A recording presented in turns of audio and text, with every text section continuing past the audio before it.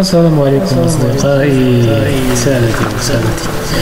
بمناسبة عيد النبوي الشريف دعونا اليوم سوف نتعرف على أسرة الرسول صلى الله عليه وسلم. سوف نبدأ سوف نبدأ القائمة بأحد أكبر أجدود أو أجداد الرسول صلى الله عليه وسلم. لدينا لدينا الجد الأكبر. يعني هناك آخرين ولكننا سنبدأ من الجد الأكبر للرسول صلى الله عليه وسلم واسمه هاشم بن عبد المناف هاشم بن عبد المناف تزوج سلمى بنت عمرو. تزوج سلمى بنت عمرو ولديه عدة أولاد. منهم سنذكر منهم. حية ورقية وصيفي وأسد وعبد المطلب ونضل وأبو صيفي وشفاء وخالدة وضعيفة. هادو هم أولاده سنركز نحن هنا على عبد المطلب هو ابنه يعني ابن هاشم. زوجات عبد المطلب متعددة. آه يعني ربما تزوج كل واحد من حسب يعني ظروف معينة. المهم نحن سنذكر زوجاته فقط. لديه تزوج لبنى بنت هاجر صفية بنت جندب هالة بنت وهيب فاطمة بنت عمرو. ثم نتيلة بنت جندب ممنعة بنت عمرو هادو يعني هذه النسوة هم يعني زوجات عبد المطلب. حسنا نحن في هذه الزوجة سنركز فقط على فاطمة بنت عمرو. فاطمة بنت عمرو يعني زوجة عبد المطلب. يعني تزوجها وولد منها عدة أولاد. إذا قلنا أولادها هم أبو طالب بن عبد المطلب الزبير العباس الحارث حمزة صفية أبو لهب عتكة الغيبة وعبد الله. له أولاد أيضا آخرين. منهم قتمة والمقوم وضرار وعبد الكعبة وحجل وصفار وعوف وأميمة أروى برة أم حكيم. نعم. نحن هنا سنركز على عبد الله. عبد الله هنا تزوج بفتاة اسمها آمنة. آمنة بنت وهب. إذن هنا عبد الله. هو أحد أبناء يعني عبد المطلب. لأن عبد الله تزوج آمنة بنت وهب. وولد معها الرسول صلى الله عليه وسلم. نعم. إذا هنا ولد محمد صلى الله عليه وسلم من أمه آمنة بنت وهب إذا أعمامه نعرفه. نعرف أن أعمامه هم الزبير والحارث وحمزة وأبو طالب والعباس والعوام وكل كل هؤلاء. الآن لا نعرف ولكننا لا نعرف يعني أخواله الرسول صلى الله عليه وسلم لديه فقط خال واحد اسمه عبد يغوت بن وهب ولديه خالتين فقط.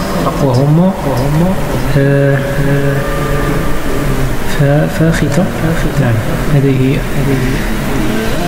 خالتين فاخته والفريعة بنت وهب.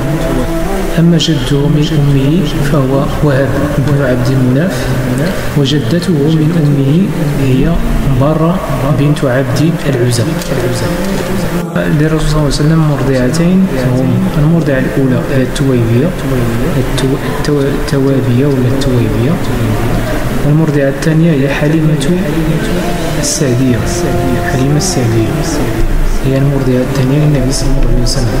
نحن الآن نعرف نسب الرسول صلى الله عليه وسلم من يعني يعني أعمامه وأخواله وأيضا ماذا نعرف عن زواجة الرسول صلى الله عليه وسلم؟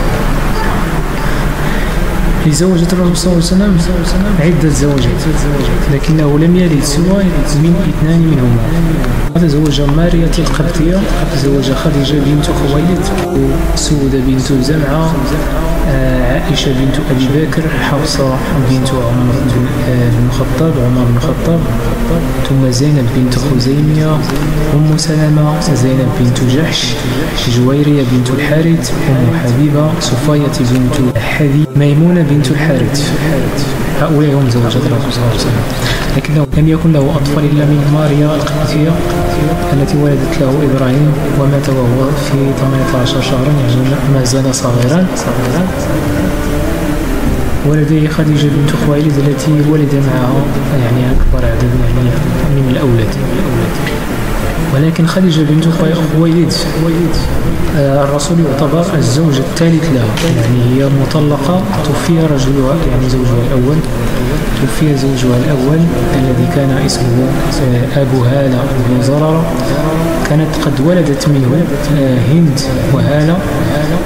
يعني وتوفي توفي بعد ذلك ثم تزوجت عتيق بن عائد المخزومي. تزوجت بعتيق بن عائد المخزومي ثم طلقها يعني طلقها هذا الأخير.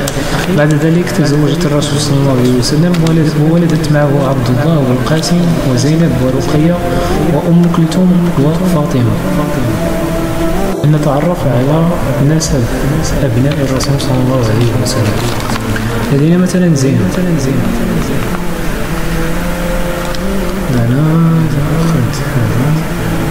قلنا إبراهيم مات وهو صغير عبد الله والقاسم أيضا ماتوا وهم صغار.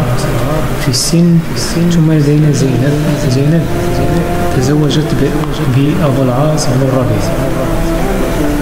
وولدت معه علي بن أبي العاص وأمامة بنت أبي العاص. ثم لدينا ابنته الثانية هي رقية. رقية تزوجت بعثمان بن عفان بعد تطليقها من عتبة بن أبي حيث أجبره والده على تطليقها. كذلك أختها أم كلثوم تطلقت من عتيبة وهو ابن ابن آخر لأبي لهب. أجبره كذلك أبوه على تطليقها ثم زوجه يعني أيضا الرسول من عثمان بن عفان.